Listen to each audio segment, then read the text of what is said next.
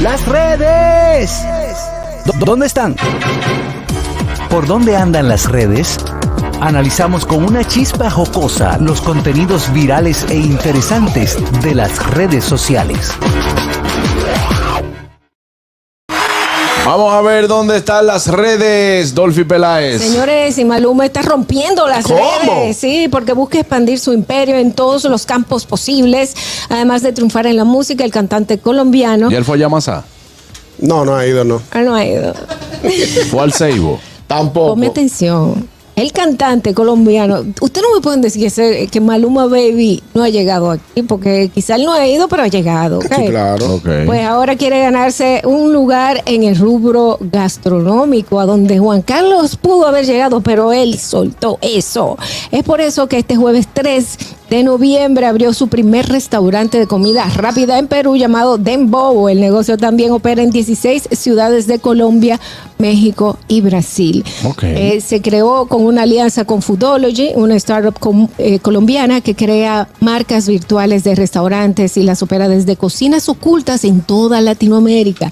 Por ellos, los comensales peruanos podrán hacer sus pedidos exclusivamente por delivery y a través de Rappi y plataformas propias de restaurantes. Dark Kitchen. Aquí vinieron esa, esa empresa vino a República Dominicana a, a buscar negocios como el, o sea, negocios para ser instalados allá. Es como un centro, una plaza grande donde solamente hay cocina y por ejemplo en una cocina de, de 100 metros, ponte tú, cada uno tiene un espacio donde tiene los equipos, tiene horno, depende de lo que, de lo que sea tu restaurante.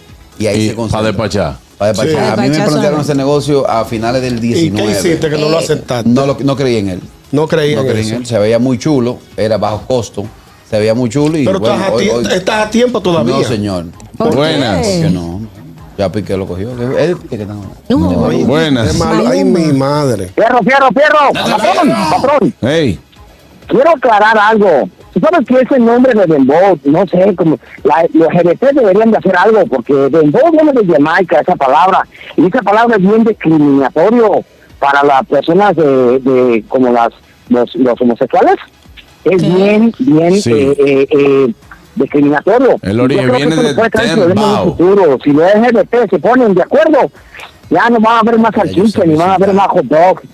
Ahí Rueda de está. ahí, Dembow. Gracias. Ya yo sé para insultar. Rueda de Dembow. No. No, ¿cómo que tú me dices Dembow? Discriminatorio. Arranca, arranca más a Mike. Begoña. Bueno, Adelante. pues unas cuentas súper explosivas y otras que desaparecen. Parece que en, en Twitter ha desaparecido la cuenta de la actriz Amber Heard después de que más comprase la plataforma. Ah, Ok. Ay, sí. Entonces sí. tú lo buscas tiki tiki y no aparece. No aparece. ¿Cómo uno lo busca, Begoña? Tiki, Tiki, tiki. tiki. Tú tienes ya más de 5 años aquí, ¿verdad?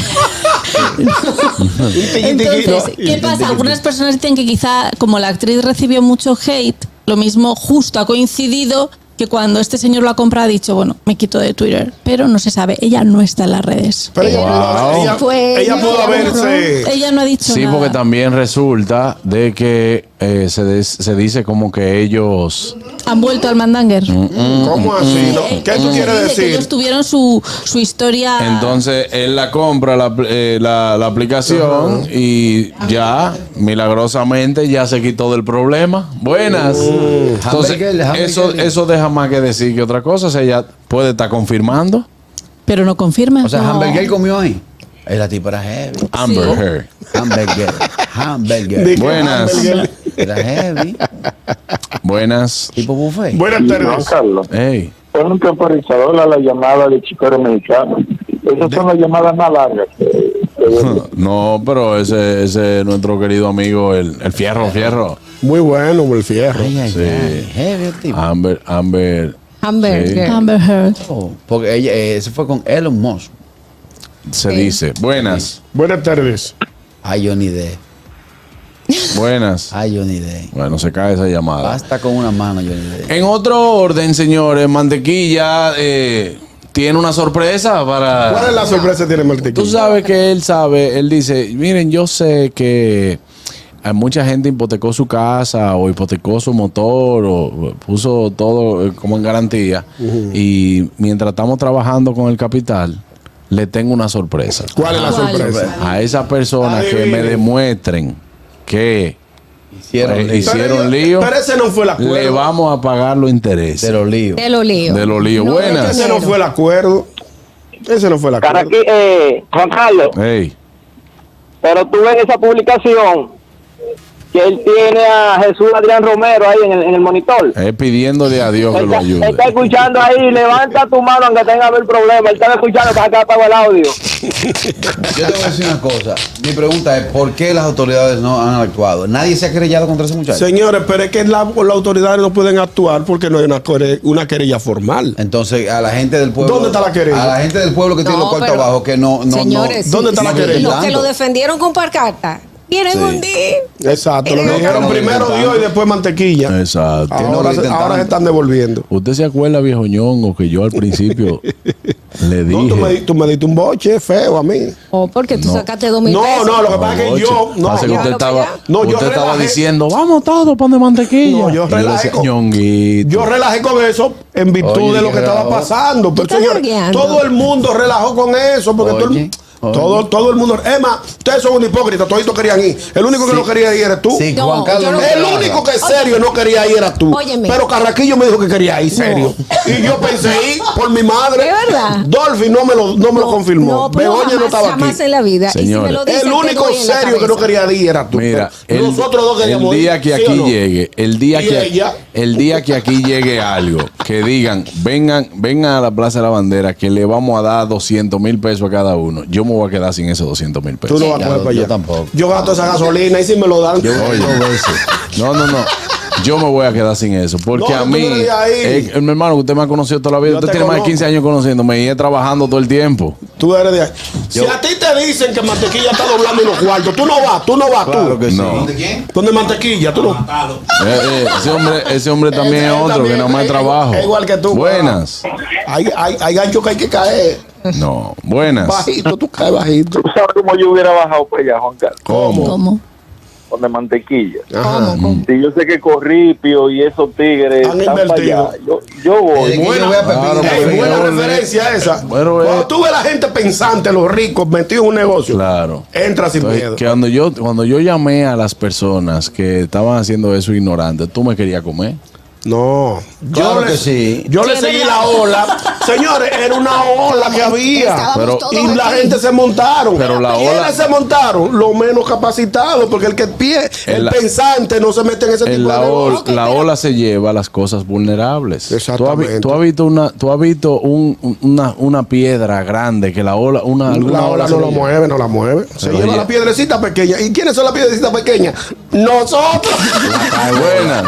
Qué milagro que ñonguito más? no te agarra. Juan Carlos, el viejo ñongo es uno de los que ve una fila y se mete, que cree que está andando. Claro, claro. Y en la fila, en la fila él pregunta qué es lo que están dando. Yo he frenado que he visto mucha gente. Digo, déjame ver Mira, que en otra noticia, vi ayer que eh, el presidente de la República visitó el set de la película Colado Allá estuvo con nosotros, y sí. leyendo los Estuvo, tú comentarios. tuviste también. Ah, pero tú eres fino. Y leyendo los comentarios, la gente, pero tantos sitios de pobreza que hay que visitar, tanta vaina. La gente no hay quien le entienda. el sector cinematográfico en República Dominicana representa, no hay que apoyarlo, representa muchos miles de millones de pesos Tú, anuales. tú tienes un tiempecito fuera del negocio, pero es bueno que tú lo apoyes. Qué vaina. Ey, no, sin cinco no, no, gente, sin cinco No, es odiador, odiador. No, no es verdad. No es verdad. No es verdad. Es que tú no conoces la industria, tú tienes que ir para que tú veas, que tú eres un no es, ignorante. no es verdad. no es verdad. Hay que ver la cantidad de técnicos, perdóname que te interrumpa, Wow. hay que ver la cantidad de técnicos que trabajan, que elaboran honradamente en esa industria. De actores. Que no es una... es Actores y actrices que no son súper mega conocidos, no importa. Por Pero ahí busca la entrevista que hizo Alfonso Señores. aquí, que dice cuántos millones se mueven al año en esa industria. eso tiene hasta el actor, desde el que carga un cable en el cine hasta el actor, tiene una tabla envejecina. Usted, usted no, ahí tiene un precio límite que le pueden pagar, Claro. tiene un precio mínimo que le pueden pagar por cada cantidad de películas que usted hace y según el rol que usted desempeñe. Te voy a eso invitar. no está Yo voy a a ustedes y lo voy a decir públicamente. Tú no, tienes- tú no Que sabes me- de la me industria, voy- tú estás me- fuera me hace voy a tiempo. atrever sígueme diciendo. públicamente. Me voy a atrever públicamente. Dime, para De despedirnos, mi ya nos carrera cinematográfica. Ay. ¿En tu carrera? De mi carrera cinematográfica, yo he podido comprar tierra. Tierra. Oh. Tengo seis sacos. Tierra Miren, señores, yo me voy. Nos vemos el lunes. Que tengan feliz fin de semana. Wow, Carraquillo, wow. Forma. El gusto, el gusto de las 12.